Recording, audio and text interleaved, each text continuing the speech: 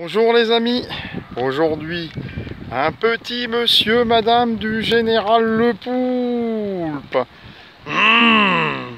C'est monsieur et madame du poisson qui ont un fils. Mais comment s'appelle-t-il Monsieur et madame du poisson?